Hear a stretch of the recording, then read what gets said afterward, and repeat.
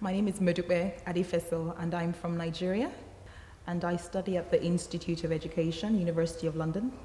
I'm completing a research degree in education and international development. I do hope to go back to Nigeria and to work in the area of policy formulation. My education has given me the skills, first of all, that I need. And when I say skills, I mean the research skills, people management skills, the time management skills that I need, and so many other different skills and competencies which will be absolutely important to my future career plans. London for me is the center of the world. This is where it happens. This is where the major decisions are made.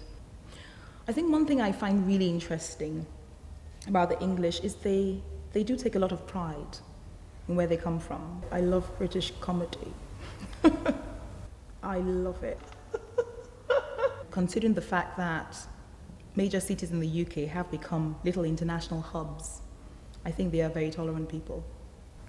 Makes you think.